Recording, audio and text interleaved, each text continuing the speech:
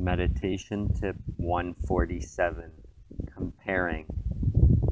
Guys, try to notice today that the mind loves to compare things.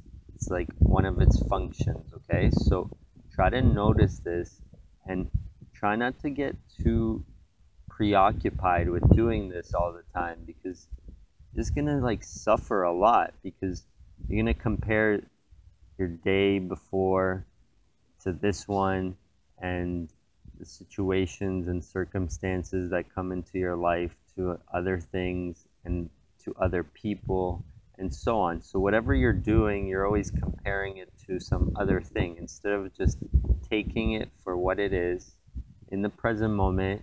You start comparing it. Oh, today it's not as nice as it was yesterday, or if you're playing a sport or doing yoga or something. This I, I notice this when I do yoga. It's like, oh, yesterday I was feeling so much more loose and everything felt nice. But the more you do that, the more you're gonna suffer, right? Because you want to control the situation to be the way you want it to be. But instead, try to take each day, each moment as its own thing, okay? So try not to compare so much and your stuff towards other people too like oh they have this and i have only this and things like that and it's always a competition then it gets to right?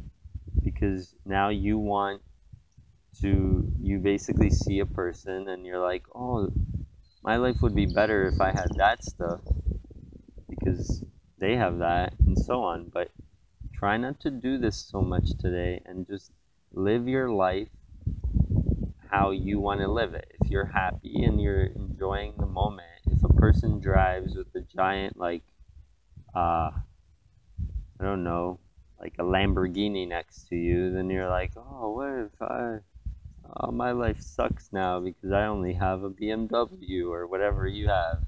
So, like, try not to get into this like rut of comparing yourself to other people and one day to the next just take each moment for what it is and try to live there as much more often as possible okay and obviously you could use comparison to see what it is that you want in your life but don't get caught up in it that it overtakes you just like everything else right it's like a tool for us but we just get stuck in it. So try to notice that today. Let me know how it goes.